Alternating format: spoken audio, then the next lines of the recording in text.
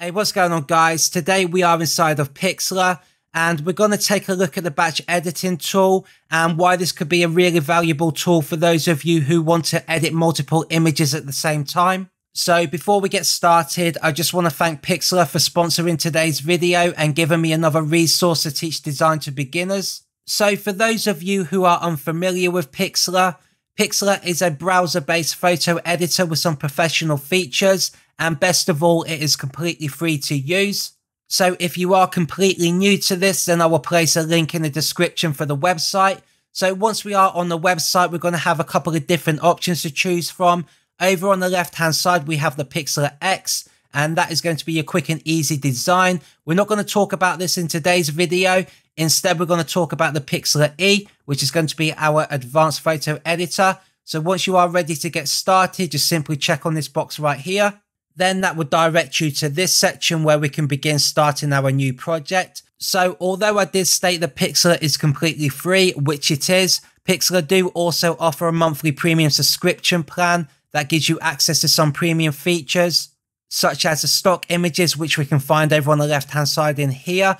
Inside of here, it's a case of just searching for anything that you want to look for. And you can see that we have over 175 million stock images available and you can use these however you like inside of your projects. As well as that, inside of the templates, we have some different options. If you guys are looking for something quick and easy just to put together, you can see right here with the crown, that is a premium one. Whereas if we go over to the left hand side, this is a free one. And it's a case of just double tapping on these, opening them up and changing some of this content. And this is what is great about Pixlr. It's very quick and easy just to get yourself started on creating something that you may want to put together in terms of a product advertisement or maybe a YouTube thumbnail or cover art. And you can see a majority of these are free and all you got to simply do is change the content that you don't like with your own content. So feel free to have a look through those. But for now, getting back to the video, we're going to go up to the home page on the left hand side and we're going to come over to where it says batch edit. Then once you select that, it's going to direct you to your hard drive so you can find any images that you may want to use. For me, I'm going to use all these photographs here that I took at a wedding. And I'm just going to simply drag across all of these and go down to where it says upload. And now you can see my images have been imported into Pixlr.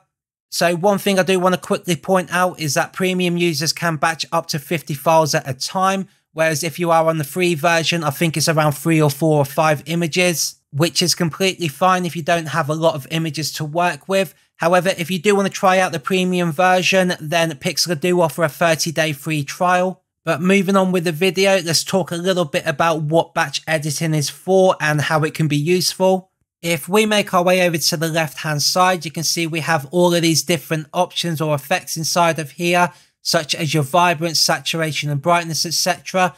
And the way that batch editing works is once we go ahead and select any one of these effects, that then is going to copy that same effect across every single one of your images that you have imported, which then brings me to my next point, and that is before you go ahead and import any images that you may want to batch edit, it's always a good idea just to try and categorize your images by lighting conditions or indoor or outdoor, etc.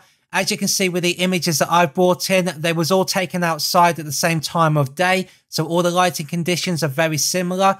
And that means when I come to add any of these effects, it's going to look great across all of these images. Whereas if I was to import some nighttime shots in here as well and apply those same effects across all those images, they may not necessarily look very good. For instance, with a nighttime shot, we may want to brighten that up so we can see it a little bit clearly. But in theory, what that is actually going to do by brightening the darker image is going to overexpose the rest of these images. And that is why I recommend doing these simply by the time of day or lighting conditions. So I hope that made sense to you. But with that out of the way, let's go ahead and start talking about some of these effects. Starting at the top here, we've got the option to crop all of our images at the same time. So if we just tap on our mouse to open this up, you can see inside of here, we've got a drop down menu with many different templates that we could use. For me, I don't want to crop any of these images, so I'm going to simply select that X right there to close that box down. Then underneath that, we have a resize option where you can change the width and the height of all of your images, which once again isn't something I want to do in this video. So I'll go ahead and shut that one too. Underneath that one, we have the border option. This can be really good if you are maybe putting together a photo album or a wedding book, such as this one I've created here as a demonstration. So if you like that effect, then go ahead and just put a border around your images. Usually 1% looks pretty good, but you can go higher than that if you want. Then once you're happy with what you got, simply hit that add button. And then you can see if we head up to the top, it's put it all up here inside of our batch edit. And we can always come back in here at any point and change these numbers or simply remove the effect if you don't want it. Then underneath that, we have this auto option. And what this is going to do is take a look at your images and try and automatically correct the colors and the brightness just to make them look that little bit better. Sometimes it does a good job, sometimes it doesn't. It's a case of just giving that a try.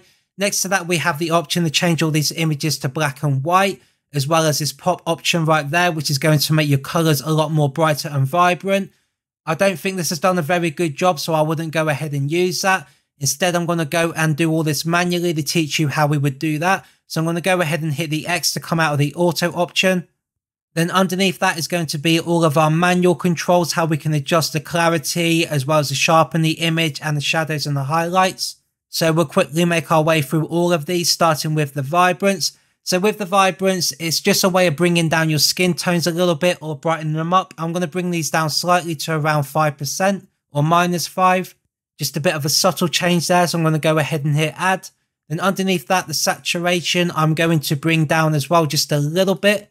So maybe around 10%, minus 10 on that one. And depending on how you guys are viewing this, whether you're on a TV or a mobile phone or a tablet, you may not necessarily see some of the changes that I'm doing here as I'm not making them too drastic, but I'm going to go ahead and select add for the saturation. Underneath that is the temperature. So this is where I kind of want to brighten it up more like a summer day. So I'll go ahead and grab my slider. I'm going to bring that over to the right hand side and just mess around with that just to make that a little bit brighter.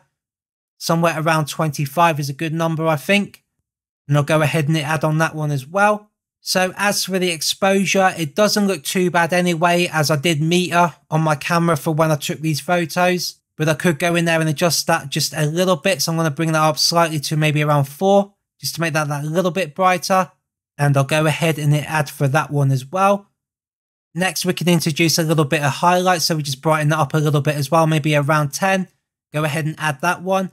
The shadows, this is up to you whether you want to make these darker or brighter. For me, I think just to make it a little bit more dynamic, I would go a little bit darker, maybe turn it down to minus 10 and see how that looks. Maybe a little bit darker than that, around minus 15. And I'll go ahead and add that as well. Underneath that, we've got the sharpen, and this is going to be another good tool if you're kind of going for that HDR effect. So you can go straight in and adjust this all the way up to maybe around 50. And you see how that's affected that. For me, that's a little bit too much on the sharpen, but some people do like that effect. When I come to sharpen images, I only have this to be a little bit subtle, maybe around 10, just so it makes the image that little bit clearer, but doesn't really take away any of the natural look to the photograph. So I'll go ahead and hit that add for the sharpen as well. And you'll notice down here, once we start adding things, they will disappear from this menu and they'll make their way up here. And just like I said before, if you want to go in and change anything, just simply tap back on that and you can change your numbers or remove that effect. So next, I'm going to go and put a little bit of clarity. This is almost like sharpening the image. It's kind of the same thing. So if you do want to make that a lot sharper, go ahead and drag that all the way up, just like that. So once again, some people like that kind of effect. For me, I don't. So I'm going to bring that back down to where it was. If you go in the opposite direction, it just makes it more blurry, which in some cases, it looks quite nice on an image such as that one right there, but that's a little bit too blurry. If you bring that up just maybe to around 20, but I'm going to go ahead and close that one as well as I don't want to add any clarity. Next, we have the glamour, and this is just going to kind of darken the image a little bit as we bring it up, as you can see. Not necessarily what you may be going for, so I'll go ahead and just turn that one off as well. And the same kind of thing with the bloom, it's just going to add just a little bit more brightness. And once again, because we've done this manually, I'm not going to apply that one myself. Then underneath that one, we have the smooth option. And if we just drag that up, we can see what kind of effect that has. I think it just kind of blurs it out a little bit. I can't really see it doing much. I think if anything, it does make it just a little bit blurry.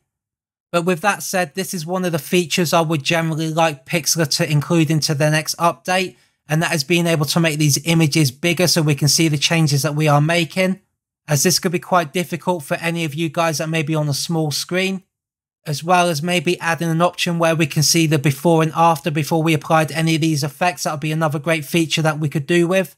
as well as possibly incorporating a histogram so we can see whether we are overexposed or underexposed.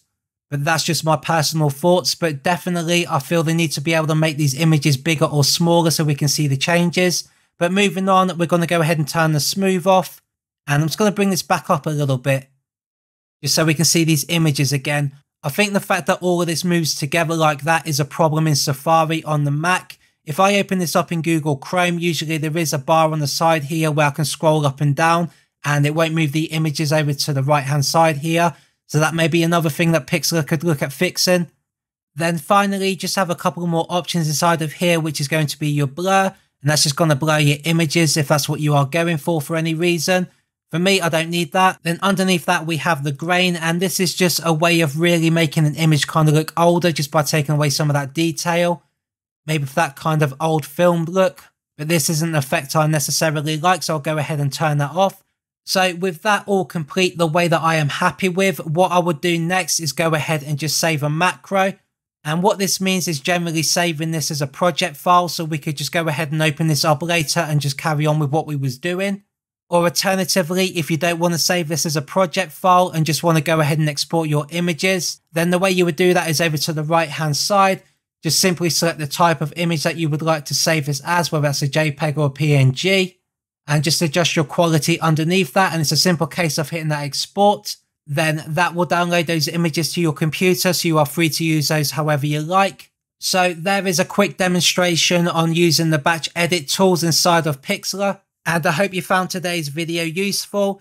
If you did, then please hit that like button as that really helps me out with the YouTube algorithm and helps other people find my content. If you haven't already, please hit that subscribe button and check out any other design videos that I've created, as well as any future releases. If you would like to learn a bit more about Pixlr and create some really cool projects, then go ahead and watch some of the videos that I put on the screen. But for now, have a great day and I will see you in my next video.